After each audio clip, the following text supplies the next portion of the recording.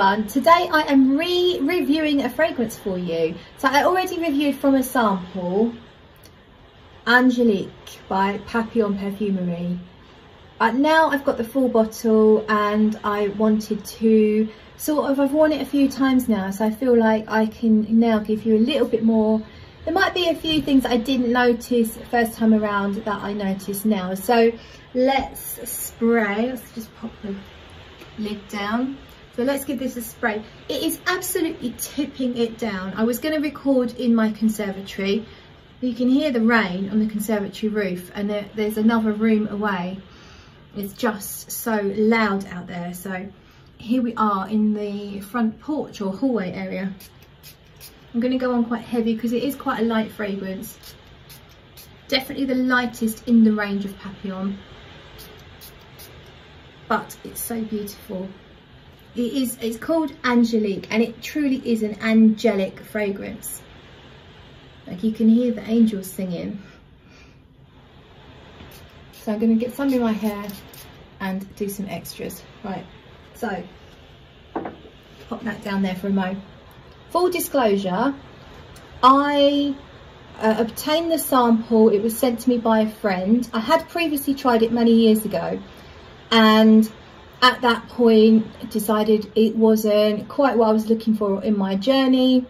Then I decided I needed to retest it because my taste changed. So a friend sent me about half a sample and that's what I did the review from. I decided I loved it and I needed to have a bottle. I went online and I went to purchase the bottle. I did purchase the bottle paid for it. Then the following day Liz Moores, the perfumer and the owner of the brand, got in touch and she said, as a thank you for your support, because I've bought and reviewed uh, a lot of the fragrances, she said, as a thank you, I'm, uh, I'm going to cancel your order. I will send you a bottle and I'm going to refund you. So that's what happened. So that bottle was sent to me with absolutely no request or uh, expectation because I've already reviewed it. There you go, full disclosure. So when you first spray it, now the, something I noticed the other day is that I feel like there's something a little bit like galbanum in here, which is one of my least favourite notes, funnily enough. But it's not something I'd ever noticed until the other day. And I don't know if there is or not. I have to check with Liz about that. I don't, it's certainly not listed. But I get this green, dry, kind of like a textured, like a fine dust or maybe even not that fine, like a slightly gritty dust smell that's green and dry. So which is how I smell galbanum. So, but it's not full on, but it really does feel quite present. This green, gritty, dry dustiness, along with some sweetness. There is mimosa in here. Am I smelling mimosa? I don't know if I'm that familiar with mimosa. I know that usually when I smell a fragrance with mimosa, I enjoy it. It's a yellow, yellow floral type scent. So I get this sweetness. It's lightly floral, but it definitely feels like a meadow of wildflowers rather than any specific flower up close and personal. There's iris in here, which I think is lending it a slightly powdery feel. Also a very smooth feel. Feels slightly woodsy as well in a and again in a kind of dusty very finely milled woodsy way. Very difficult to explain this one actually but I'm going to give it my best shot. So I think for now I'm going to leave it there and I'll come back to you in a bit so here's the full presentation the box that you get the perfume in is like this it's a very light cardboard, you have the papillon, butterfly. Liz has very kindly signed the box for me, which is lovely. You have the notes on the back as well. And then the bottle. I have decanted some out for some fragrance friends just to share the love. So that's why it's, it, I haven't used that much. That's why it's so, um, so empty because I've given a couple of decants away but that is the bottle. It's not a metallic cap, but it fits reasonably snugly. Probably don't carry it by the cap because it will come off. But I think it's a very nice and simplistic presentation, which I actually really like. So we're only 45 minutes in and I've brought you into the conservatory because the rain's calmed down. It's still raining, but it's calmed down a little bit. And I've just noticed a few changes in the fragrance. I felt that I needed to quickly update you on that. Got the cat here. There she is. She pretty much owns this chair now. Every time I look for Sweetie, she's right here. So the fragrance has become quite woody on my skin. There is a note of cedarwood and I do feel like that's intensified. The notes listed are mimosa, osmanthus, champaca. They are your florals. So osmanthus can smell like apricot and suede at the same time. Champaca is, I think it's a sort of uh, a sort of magnolia type creamy, clean smelling floral. Although I have smelt it in its raw state and it actually smelt quite animalic in its raw state, but it's not an animalic thing in here. Then you have iris and oil olibanum, which is uh, a resin. And I think that's it. If I've forgotten one, we'll just put it on the screen here somewhere, or maybe even here, who knows. But so what I'm getting now is that thing that I thought smelt like galbanum is, is really pretty much gone. Although I do still have this green feeling. It's like walking in the woods, but a dry woods uh, on a summer's day. So you're not getting the moist soil and you're not getting too much of the leaves on the trees. You're getting much more of the woods. But with this uh, sweet, creamy, yet powdery iris.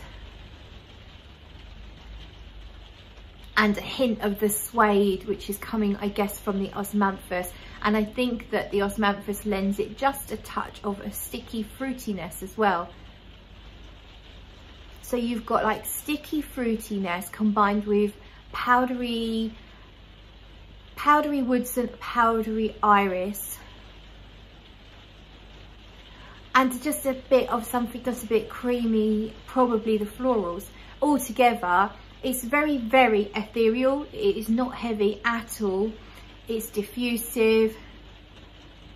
It's light. It's like a je ne sais quoi kind of fragrance. It's not a heavy hitter at all. It just gives you this aura that's really beautiful. That's it so far. Just a quick update then, around about another hour has passed and the fragrance has deepened up. So it definitely feels a lot more suedey and I've got the cat on my lap now. It feels a lot more suedey, a lot more richer. Stop scratching the thing, sweetie. A lot richer. I'm getting a little more sweetness, it's more irisy now. The cedar or the woodsiness is much less intense. It's less dry, it's becoming more moist. And less like being in a dry wooded area. Although that is still there, it's just less like that now. It's getting just a little bit sweet and sticky, which is really nice. Hiya, I'm chilling on the sofa thinking about going to work soon and we are two and a half hours into the wearing of Angelique. And it's kind of smelling a bit chalky to me now. I forgot to mention earlier the violet. I definitely get violet from it in the opening and even now just a little bit. Just a slightly chalky violet. The woods are definitely really calmed down there's a hint of something green, but it's very light now. It's not a heavily green fragrance. It's just a, a little whiff, a little breeze of greenness in here. It's now more of a suede but in a very light way, very light suede, almost suede come chalk kind of thing. It's really unusual. With just this slightly sweet floral element that's not actually that strong. So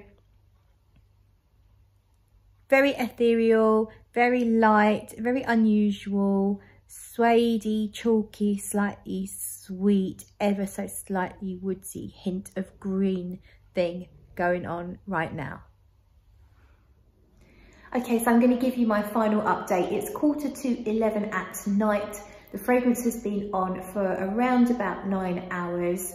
It's still giving me ever so gentle wafts as I move around. So if I stand still, I can't smell it. So it's not mega projecting. But if I do my usual moving around, I still get gentle light wafts. In terms of the actual scent, I'd say it's a very soft, woodsy, still feels a little bit on the chalky side.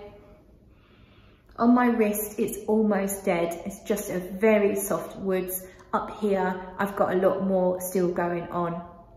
And it's still sweet. It definitely feels a little bit woodsy, sweet, cedary, slightly chalky, slightly floral. It's a very difficult to describe fragrance. It doesn't smell exactly like the notes dead on.